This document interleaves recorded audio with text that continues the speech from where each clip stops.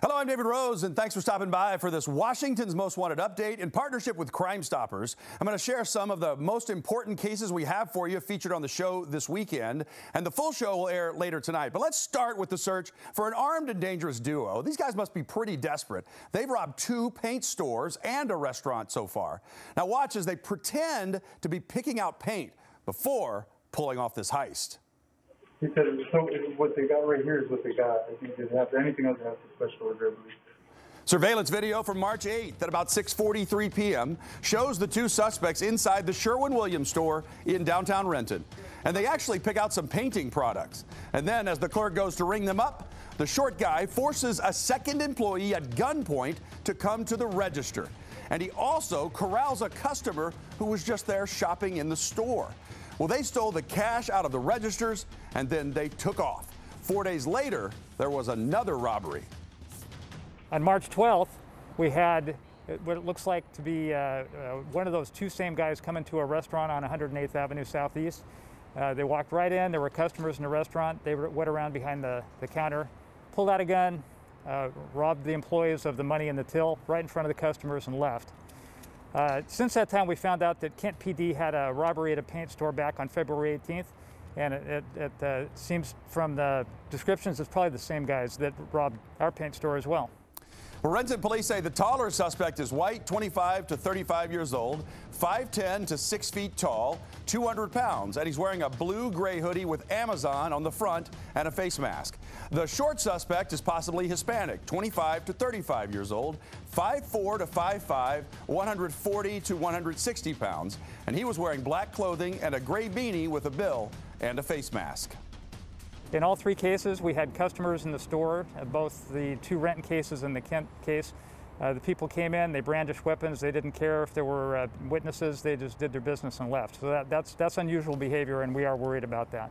If you can identify either suspect, Crime Stoppers of Puget Sound will pay you a cash reward of up to $1,000, and you will remain anonymous. You can text tips through the P3 Tips app that you can download to your cell phone for free, or you can call 1 800 222 TIPS.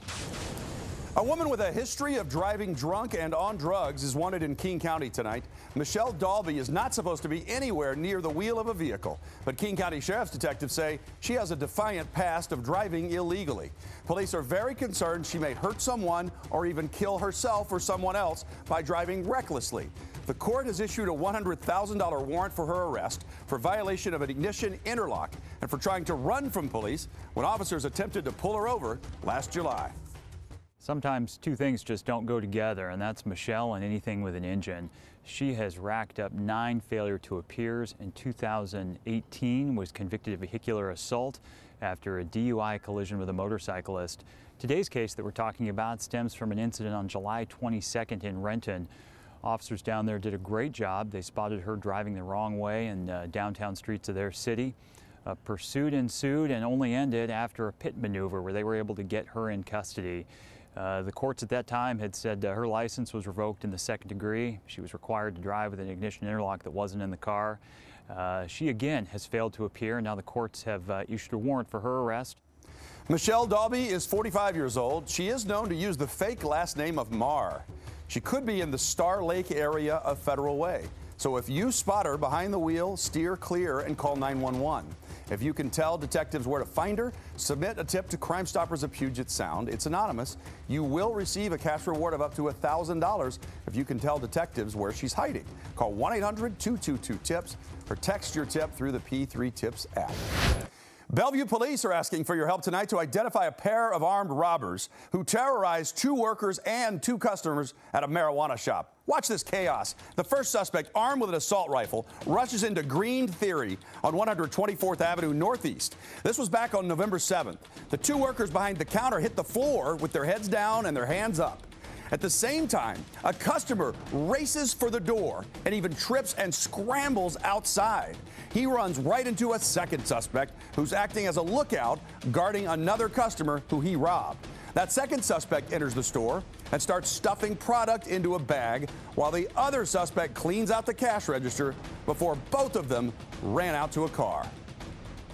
The vehicle that they left in was a 2018 to 2019 Hyundai Elantra vehicle, and so that's what they were seen driving away in. One suspect is wearing a black ski mask, black pants that has Nike writing on it, and it's in white, and he's also wearing black Nike slides. The second suspect is wearing a uh, hoodie, black hoodie, and a um, COVID black mask. And, but what's particular about him is that he is wearing Nike Air Jordan 20 Woodland Edition hiking boots, and those are very specific. So we are hoping that the viewers can help us out on finding these people so that we can stop this before somebody gets hurt. So if you can identify either of these suspects for Bellevue police, you will remain anonymous when you submit a tip to Crime Stoppers of Puget Sound through the P3 Tips app on your cell phone. You can even send pictures to that app. Or you can call the hotline 1 800 222 TIPS. You will receive a cash reward of up to $1,000 if your tip leads to the arrest of either suspect. Tonight, Bainbridge Island police have a plea for a young car prowl suspect to do the right thing. Come talk to them before he gets hurt. They say he's the same suspect who's been caught on camera prowling vehicles at two different homes recently, and they really want you to look at him and his big puffy hair to see if you know who he is. This video is from February 2nd. You see the guy prowling a Ford truck parked in the victim's driveway. This was in the Ferncliff area south of High School Road. Now, a second video shows a suspect looking through vehicles in the Buckskin Lane area off Baker Hill Road. Detectives say he's young and on a very dangerous path right now my fear as a detective and as a father is when these juveniles commit these crimes that they don't think of the consequences down the road if they get into the wrong car or they start breaking into the wrong house. Because there are people out there that will take defensive measures and defend their property, and they don't know that this is a young kid. And I don't want to see this kid get hurt because someone else is in fear of their life and property. Just if you're watching this and you know who you are, come in, talk to myself or the other detective that works here, and, and we'll, uh, we'll see what we can do for you. Well, hopefully, he does take this opportunity to surrender and start a new chapter in his life. If not, you'll come in here because I know one of you watching tonight will know who this guy is. He'll have to get on the right path because he'll get arrested. So if you know his name, submit a tip through the P3 Tips app on your cell phone or call 1 800 222 TIPS.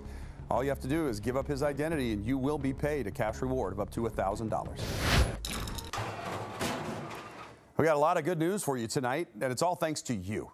A whole slew of captures, starting with the arrest of a man suspected of sparking an Amber Alert in Renton last month. Detectives on the Puget Sound Auto Theft Task Force spotted Carlos Cotto in a stolen car in Tukwila on Tuesday, and they called for assistance from the Washington State Patrol to set up containment. Well, Cotto tried to escape on foot, but troopers caught him and took him into custody. Renton Police and Crime Stoppers of Puget Sound have confirmed that a tip from a Washington's Most Wanted viewer helped detectives initially identify Cotto and provided links to his social media that they did not have some of the tips we received, we only would have received through Washington's Most Wanted. So we're definitely appreciative of that. And because of that, we have a tipster that's going to receive up to $1,000. Cotto is accused of stealing a car with a five-year-old girl inside. She was found safe in the car about an hour and a half later after it was abandoned in SeaTac. Cotto was also wanted for robbery in the first degree in Kent after police say he stabbed a man in the neck and stole his cell phone in January. He's being held without bail in the King County Jail. The King County Sheriff's Office says a Washington's Most Wanted viewer tip to Crime Stoppers of Puget Sound led to the arrest of Sayed Komizi Wednesday. He was in the parking lot of an apartment complex driving his mom's car on Northeast 43rd Place in the North Bellevue area.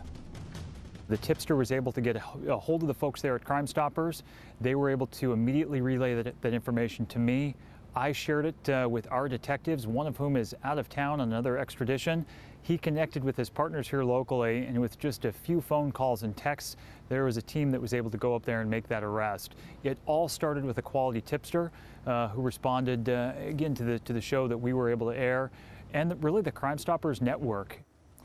Detectives say Komizi has continuously threatened to kill a woman. He was charged with rape, extortion, and felony harassment. He's being held in the King County Jail on a quarter million dollars bail. Well, you know seatbelts save lives but they also can keep you from getting pulled over. Well, Heather Gray was not wearing a seatbelt when she was riding as a passenger in a car. She was wanted on seven warrants after cutting off her GPS tracking bracelet. Well, Gray was spotted by Milton police and they pulled over the car that she was riding in. She lied about her name to two recently hired Milton police officers. So they used the portable fingerprint scanner.